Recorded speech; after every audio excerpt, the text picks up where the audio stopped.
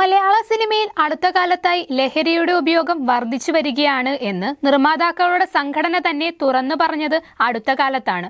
അതോടൊപ്പം ശ്രീനാഥ് ഭാസി ഷെയ്ൻ നിഗം എന്നിവരോട് നിർമ്മാതാക്കൾ നിസ്സഹരണം ഏർപ്പെടുത്തുകയും ചെയ്തിരുന്നു. ഇത് മലയാള സിനിമയെ ഒരു ഇടവേളയ്ക്ക് ശേഷം വീണ്ടും ചർച്ചകളിലേക്ക് കൊണ്ടുവരാനും കാരണമായി. ഇപ്പോഴിതാ മലയാള സിനിമയിൽ ലഹരി ഉപയോഗിക്കുന്ന നടന്മാരുടെ ലിസ്റ്റ് പോലീസിന്റെയും സംഘടനയായ അമ്മയുടെയും കയ്യിലുണ്ടെന്ന് തുറന്നു പറഞ്ഞിരിക്കുകയാണ് നടനും അമ്മ എക്സിക്യൂട്ടീവ് കമ്മിറ്റി അംഗവുമായ ബാബുരാജ്. ലഹരി കാരിയർമാരിൽ നിന്നാണ് ഈ വിവരങ്ങൾ ലഭിക്കുന്നതെന്നും താരം പറയുന്നു. മൂവി വേൾഡ് മീഡിയ യൂട്യൂബ് ചാനലിന് നൽകിയ അഭിമുഖത്തിലാണ് അദ്ദേഹം ഇക്കാര്യം വ്യക്തമാക്കുന്നത്. സിനിമാ രംഗത്ത് മാത്രമല്ല എവിടെയും ഇപ്പോൾ ലഹരി നിറയുകയാണെന്ന് ബാബുരാജ് പറഞ്ഞു. സിനിമാ സംഘടനകളുടെയും പോലീസിന്റെയും കയ്യിൽ ലഹരി ഉപയോഗിക്കുന്ന താരങ്ങളുടെ മുഴുവൻ ലിസ്റ്റും ഉണ്ട്.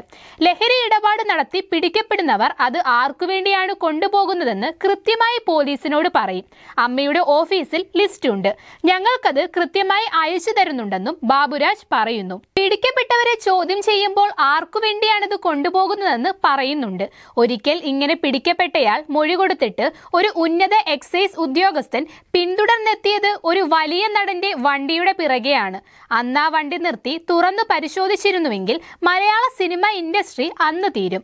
അതൊക്കെ നഗ്നമായ സത്യങ്ങളാണ്. ആ ഉദ്യോഗസ്ഥൻ ചെയ്യുന്ന ജോലി വെറുതെയായല്ലോ എന്ന് കരുതിയിട്ടാവാം അതെല്ലാം അവിടെ വെച്ച് നിന്നത്.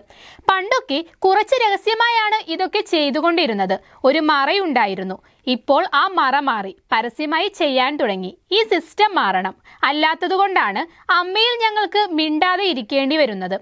ആരൊക്കെ ലഹരി മരുന്ന് ഉപയോഗിക്കുന്നു എന്നതിന്റെ മുഴുവൻ ലിസ്റ്റും അമ്മയിലുണ്ട്.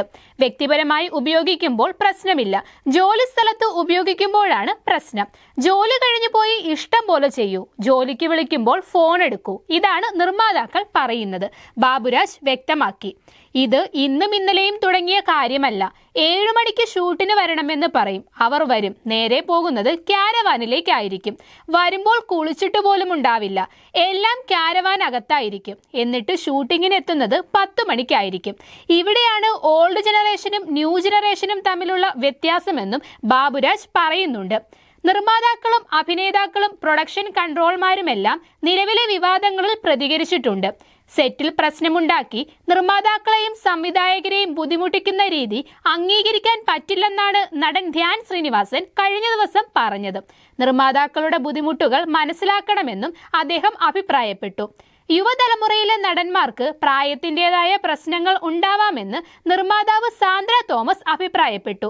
എന്നാൽ ഷെയ്ൻ നിഗത്തെ മാത്രം ലക്ഷ്യം വെക്കേണ്ട കാര്യമില്ലെന്നും മറ്റു നടന്മാർ കാരണം തനിക്ക് പ്രശ്നങ്ങൾ ഉണ്ടായിട്ടുണ്ടെന്നും എന്നാൽ ഈ പരാതികൾ ഒതുക്കി തീർക്കുകയാണ് ഉണ്ടായതെന്നും സാന്ദ്ര തോമസ് വെട്ടിത്തുറന്ന് പറഞ്ഞിരുന്നു. ആർ ഡി എക്സ് എന്ന സിനിമയുടെ ഷൂട്ടിങ്ങിന് ഇടയിലുണ്ടായ പ്രശ്നങ്ങളാണ് ഷെയ്ൻ നിഗത്തിന് വിനയായത്. ശ്രീനാഥ് ഭാസിക്കെതിരെയും ഒന്നിലേറെ തവണ ആരോപണങ്ങൾ വന്നിട്ടുണ്ട്. നേരത്തെ അഭിമുഖത്തിൽ അവതാരകയോട് മോശമായി സംസാരിച്ചതായിരുന്നു ശ്രീനാഥ് ഭാസി വിവാദത്തിൽ അകപ്പെട്ട സംഭവം. അവതാരകയോട് അസഭ്യം പറഞ്ഞ് ശ്രീനാഥ് ഭാസിക്കെതിരെ പരാതിയും വന്നിരുന്നു. കഴിഞ്ഞ ദിവസങ്ങളിലായി പ്രൊഡക്ഷൻ കൺട്രോളർമാരും ശ്രീനാഥ് ഭാസിക്കെതിരെ രംഗത്തു വന്നിരുന്നു.